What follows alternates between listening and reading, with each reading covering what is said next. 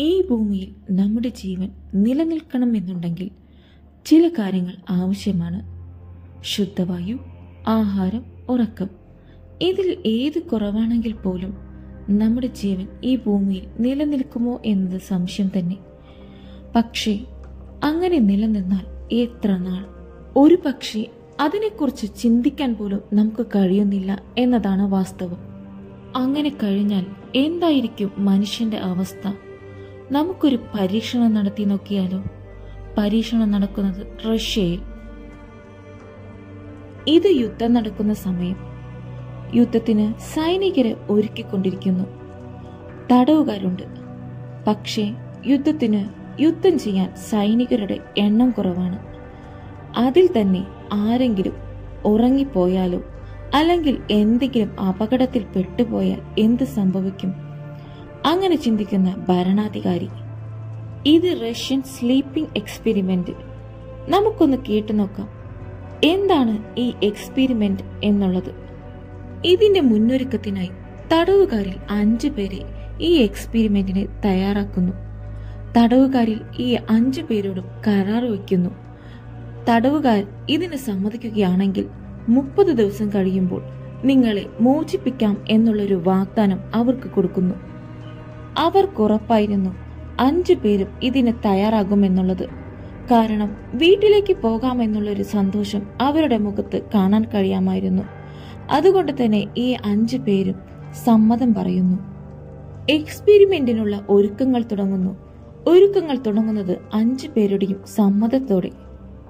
അന്ന് രണ്ടാം ലോക മഹായുദ്ധ സമയത്ത് സോവിയറ്റ് യൂണിയൻ ധനസഹായം നൽകിയ റഷ്യൻ ഗവേഷകർ ഭരണകൂടത്തിന്റെ ശത്രുക്കളായി കണക്കാക്കപ്പെട്ടിരുന്ന സമയം ആയിരത്തി തൊള്ളായിരത്തി നാൽപ്പതുകളിൽ ടാങ്കളിൽ പരീക്ഷണം നടത്താൻ സമ്മതം മൂളി നിൽക്കുന്ന ആ അഞ്ചു പേരെയും വായു സഞ്ചാരം തീരെയില്ലാത്ത ഒരു മുറിക്കുള്ളിൽ അടച്ചിടുന്നു. അതിനുശേഷം അവരുടെ ഉറക്കം തടസ്സപ്പെടുത്തുന്ന ഒരു വാതകം അവരുടെ മേൽ പരീക്ഷണം നടത്തുന്നു.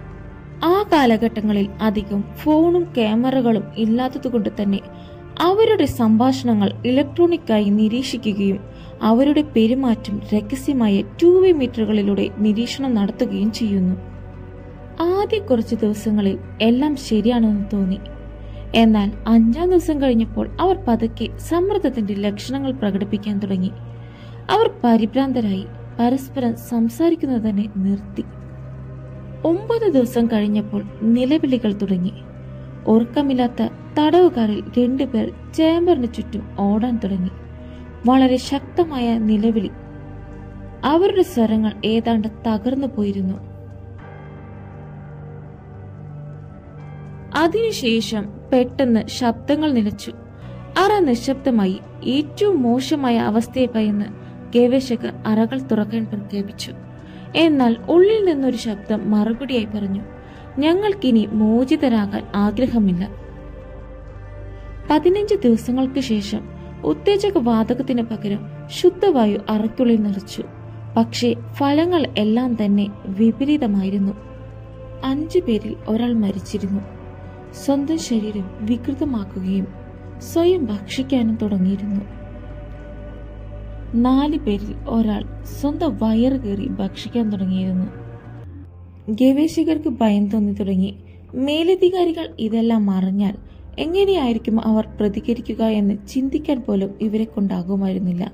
അതുകൊണ്ട് തന്നെ മരിച്ചയാളുടെ ശരീരത്തിലെ മാംസങ്ങളെല്ലാം അടർത്തി മാറ്റി ഒരു ഫ്ലോർ ഡ്രൈനിൽ നിറയ്ക്കുകയും ബാക്കിയുള്ളവരെ പുറത്തേക്ക് കൊണ്ടുവരാൻ തീരുമാനിക്കുകയും ചെയ്തു. പക്ഷേ അവർ ബലപ്രയോഗത്തിലൂടെ പോകാൻ വിസമ്മതിച്ചു. ഗവേഷകരിൽ ആരും തന്നെ അവർക്കൊപ്പമുണ്ടെന്ന് സങ്കല്പിക്കാൻ പോലും കഴിയാത്ത വിധം ശക്തമായ ആക്രമണത്തോടെ പോരാടാൻ തുടങ്ങി. നീക്കം ചെയ്യപ്പെടുന്നതിനും അനസ്തേഷ്യ നൽകുന്നതിനുമെതിരെ അവർ തീവ്രമായി പോരാടി. അതിനിടയിൽ ഒരാൾ സ്വന്തം ശരീരം കീറി അസ്ഥികളെല്ലാം പുറത്തേക്ക് കൊണ്ടുവരാൻ തുടങ്ങിയിരുന്നു. എന്തുകൊണ്ടാണ് സ്വയം ഇങ്ങനെ കീറി വികൃതമാകുന്നത് എന്ന് ചോദിച്ചപ്പോൾ അവരെല്ലാവരും പറഞ്ഞ ഉത്തരം ഒന്നു മാത്രമായിരുന്നു. ഞങ്ങൾക്കെല്ലാവർക്കും ഉണർന്നിരിക്കണം. ഉറങ്ങാൻ പാടില്ല. ഇതായിരുന്നു അവർ പറഞ്ഞ ഉത്തരം. അതിനിടയിൽ ഗവേഷകർ തടവുകാരെ കൊല്ലാനും പരീക്ഷണത്തിന്റെ എല്ലാ രേഖകൾ നശിപ്പിക്കാനും തീരുമാനിച്ചിരുന്നു. ഇതിനെല്ലാം കമാൻഡിംഗ് ഓഫീസർ സമ്മതിച്ചിരുന്നു. പക്ഷേ തെളിവിന്റെ അവശേഷിപ്പ് എന്ന പോലെ മൂന്ന് പേർ ബാക്കിയായിരുന്നു. അറസൂക്ഷിപ്പുകാരനും രണ്ട് പ്രജകളും. പക്ഷേ അവരെ മൂന്ന് പേരെയും കൊല്ലാൻ മുഖ്യ ഗവേഷകൻ തീരുമാനിച്ചു. സ്വന്തം ജീവന് വേണ്ടി യാചിച്ചുവെങ്കിലും അതൊന്നും ചെവി കൊള്ളാതെ അവരെ വെടിവെച്ച് കൊല്ലുകയായിരുന്നു. തെളിവുകളെല്ലാം മറച്ചു വെക്കാൻ തുടങ്ങി. ഇനി നമുക്ക് കാര്യത്തിലേക്ക് കടക്കാം. ഇതാണ് റഷ്യൻ സ്ലീപ്പിംഗ് എക്സ്പെരിമെന്റ്. ക്ഷമിക്കണം ദ റഷ്യൻ സ്ലീപ്പിംഗ് എക്സ്പെരിമെന്റ് എന്ന് പേരിട്ടിരിക്കുന്ന ഇത് ഒരു ഇന്റർനെറ്റ് ഇതിഹാസമാണ്. ഇതിന്റെ ഏറ്റവും പഴയ പതിപ്പ് രണ്ടായിരത്തി പത്ത് ഓഗസ്റ്റ് പത്തിലെ വിക്കി പേജിൽ നിന്ന് കണ്ടെത്താനാകും. ഇത് പോസ്റ്റ് ചെയ്ത ഉപഭോക്താവിന്റെ പേര് ഓറഞ്ച് സോഡ എന്നാണ്. എന്നാൽ രചയിതാവിന്റെ യഥാർത്ഥ പേര് അജ്ഞാതം.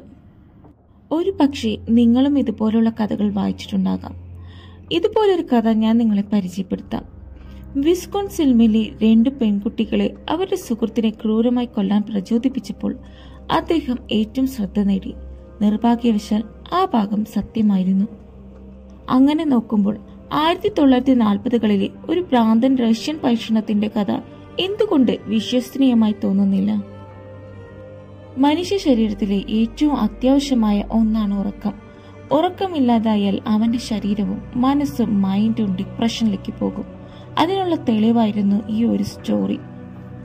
ഒരു മനുഷ്യന് എത്ര ദിവസം ഉറങ്ങാതിരിക്കാൻ കഴിയും എന്നതിന് ഗിന്നസ് വേൾഡ് റെക്കോർഡ് നേടിയ സാന്റിയോഗോ കൗമാരക്കാരനായ റാൻഡി കാർട്ടനറാണ് പതിനൊന്ന് ദിവസം ഇരുപത്തിനാല് മിനിറ്റുമായിരുന്നു അദ്ദേഹം ഉണർന്നിരുന്നത്. ഒരു പക്ഷേ ഇതെല്ലാം യാഥാർത്ഥ്യമാവാം. തെളിവുകളെല്ലാം നീക്കം ചെയ്തതുകൊണ്ട് തന്നെ ഇന്നും വിശ്വസിക്കാൻ കഴിയാത്ത കഥയായി തുടരുന്നു